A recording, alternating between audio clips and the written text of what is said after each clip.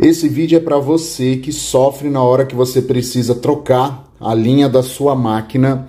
Eu vou te ensinar uma técnica que é muito, muito, muito fácil. É um nó especial que a gente usa na costura, que eu já vi muitas costureiras usando que trabalha com máquina industrial, já vi também bordadeiras usando esse nó, porque a grande vantagem dele é que ele passa pelo buraco da agulha. É um nó tão fininho, tão pequeno, que você consegue simplesmente puxar a linha toda aqui e você não tem aquele trabalho de colocar a linha na agulha que às vezes é um sufoco, né? Eu confesso que, de, que dependendo do horário que eu estiver trabalhando, principalmente se for com linha escura, eu também passo um, um, um aperto na hora de passar a linha na agulha. Mas vamos lá. Você está aqui com a sua linha, né? Passada na máquina. Então você quer colocar uma segunda linha aqui, né? Você quer trocar a cor da linha que você está usando. Gente, isso aqui é um exemplo. Eu estou usando essa linha azul e amarela para aparecer bastante no vídeo. Mas aí você vai fazer com a linha que você tiver trabalhando, né? Então, eu vou tirar aqui o meu exemplo. Eu quero trocar a linha é, amarela pela azul. Tirei aqui a linha amarela. Vou puxar agora a linha azul. E veja só, eu vou pegar duas pernas de cada linha. Aqui, ó com mais ou menos uns 3 centímetros de comprimento, tá? Mais ou menos, que dá mais ou menos esse tamanho aqui. E preste bem atenção. Eu vou colocar elas assim em formato de X. Tá vendo aqui, ó, em formato de X. A linha da mão direita tem que ficar por baixo da linha da mão esquerda. Então eu vou colocar aqui, ó. Tá vendo?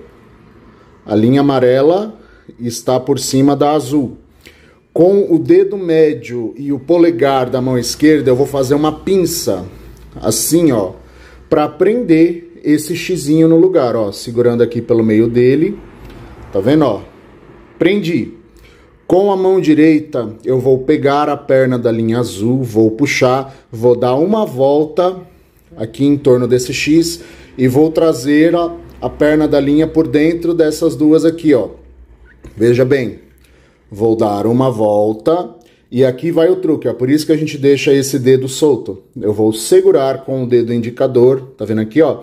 E vou trazer a perna de linha passando pelo meio das duas, ó. Aqui tá bem visível, ó, pelo meio das duas. E vou segurar ela aqui junto com, esse, com essa pinça que eu fiz com o dedo indicador e o dedo médio. Agora, essa parte é um pouco complicada. Se você não conseguir fazer de primeira, treina, treina, treina até você acertar. Porque se você fizer certo uma vez, você já pega o jeito. Eu vou passar a linha amarela. Tá vendo que ficou uma orelhinha aqui, ó? Uma voltinha?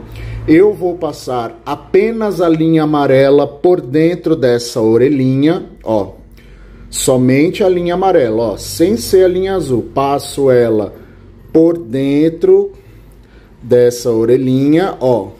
Passei aqui por dentro, ó, viu? E vou puxar ela pelo outro lado. No momento que eu puxo, eu ainda seguro a pinça. Quando eu estiver perto de fechar o nó, eu solto a pinça, ó. Se você tiver feito certo, eu ainda não puxei o suficiente. Se você tiver feito certo, a, o nó ele vai ficar bem firme.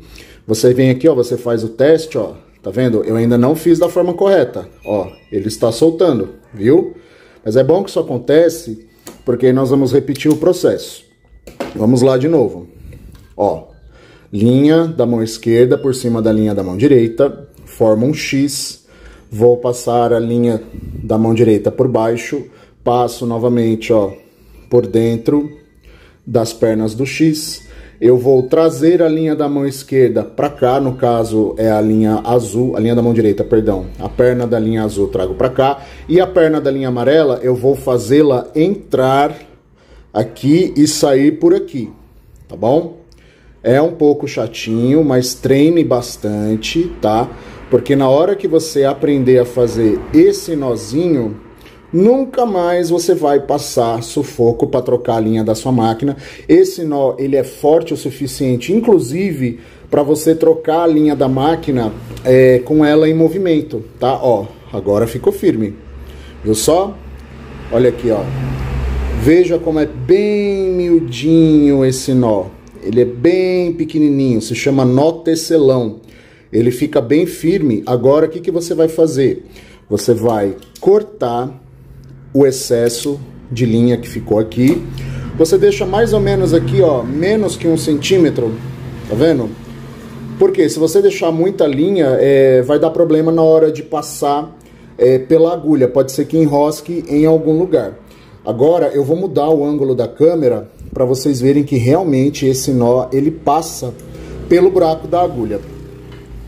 Vocês estão tendo exatamente a mesma visão que eu da agulha da máquina. Vocês estão vendo aqui que eu dei um super zoom, né, para ficar visível aqui o buraco da agulha. E veja só, aqui ó, essa é a perna de linha que está caída aqui por trás da máquina, né? Porque eu puxei um bom tanto de linha para poder ter espaço para fazer o um nó e o nozinho ele está aqui. Eu vou puxar agora a linha, lembrando que a alavanca do pé calcador tem que estar levantada, tá bom? Senão você não consegue puxar a linha. E eu vou colocar aqui, ó, um tecidinho claro para facilitar a sua visualização. Aqui, vamos lá. Eu vou puxar a linha, ó, venho puxando. Aqui, ó, tá vendo? Só tá vindo linha amarela. Linha amarela, só vem linha amarela. E aí a gente puxa Vem puxando. Se por acaso você vê que em algum lugar a linha está querendo enroscar, você para e ajeita, tá bom? Ó, tá chegando o nozinho. Ó, o nozinho aqui. Tá vendo, ó? Eu vou puxar e você vai ver que ele vai passar pelo buraco da agulha. Ó, que beleza? E a máquina está enfiada agora com linha azul e você pode continuar a sua costura sem sufoco, sem você ficar passando raiva, sem você ficar xingando a máquina, porque a gente sabe que isso acontece. Então veja só que agora eu já estou costurando com a linha azul, a linha verde aqui é que está na bobina, veja só, muito facinho. Só lembrando que essa técnica serve para máquina caseira, máquina industrial, overlock, galoneira, reta, qualquer máquina que você tiver aí que você precisar trocar a linha, você pode usar essa técnica que você vai ver que é muito fácil. E eu poderia, inclusive, se eu quisesse, por exemplo, trocar a linha da mesma cor, era só eu continuar costurando, coloco a linha nova aqui em cima, continuo costurando, dou um nozinho que é, é, a máquina consegue puxar o nó, ele passa aqui pelo buraco da agulha, claro, se a sua tensão da linha não estiver muito apertada, ele vai passar pelo buraco da agulha e vai continuar costurando normalmente. É como se você tivesse, é como se a linha não tivesse acabado. É bem facinho. Se você gostou desse vídeo, gosta do meu trabalho, deixa um joinha aqui para mim, porque isso me ajuda muito a crescer aqui no YouTube. Não esquece de se inscrever no canal, curtir e compartilhar esse vídeo para que mais pessoas vejam esse conteúdo. Não esquece também de ativar o sininho das notificações para você não perder nenhum vídeo meu. Muito obrigado e até o próximo vídeo.